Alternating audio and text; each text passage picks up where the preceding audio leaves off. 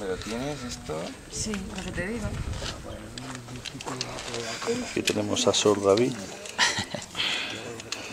Que no puedo.